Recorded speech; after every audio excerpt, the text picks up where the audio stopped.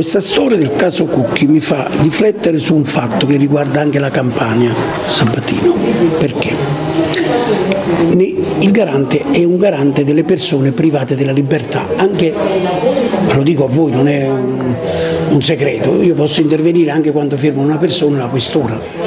Anche quando la questura per 3-4 giorni ti tiene lì pronto per uscire, ma le nostre carceri sono piene di, di agenti di polizia penitenziaria, non per maltrattamenti. Qui a Santa Maria ci sono agenti che stanno lì perché hanno portato droga nelle carceri, hanno portato telefonini nelle carceri e di ieri anche l'ultimo arresto di un agente penitenziario che ha introdotto droga nelle carceri, altro che diciamo elicottero, non so che altro, drone.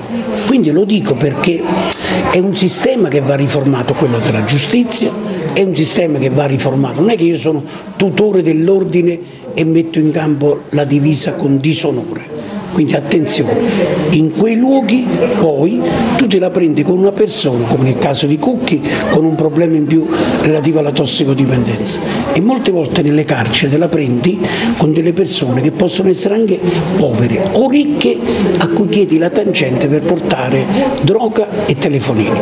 Questo mi indigna e mi fa provare amarezza perché anche su questo la politica non interviene.